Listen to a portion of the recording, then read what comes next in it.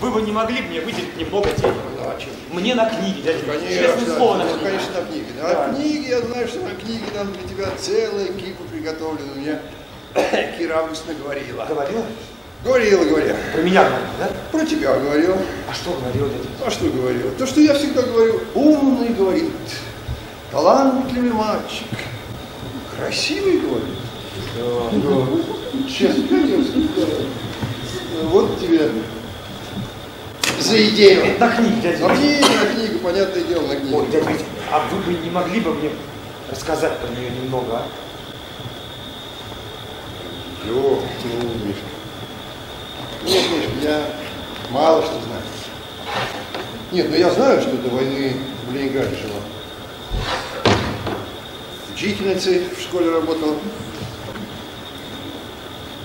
Жених у нее погиб на войне. Сейчас? Что сейчас? Ну, в смысле, она с семьей? А, вот что тебя интересует. Нет, мужа нет, одна жена.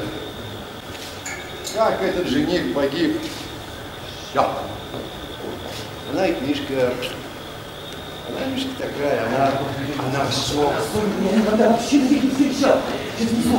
Глянулась она тебе, да? Глянулась. Прекрасно.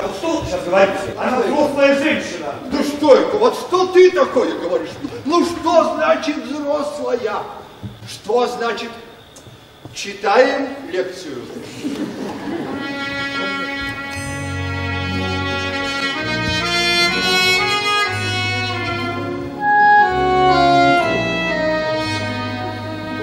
Для женщины важно не возраст мужчины, а его голова ум, талант, характер.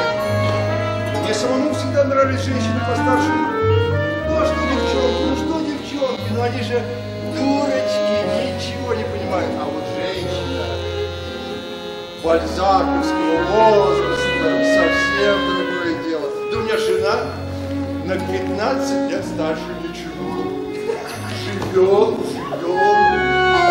А вот первая меня была. Это особая глава.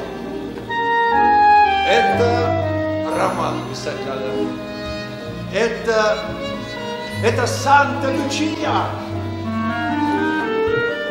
Слушай, а давай мы ее спросим.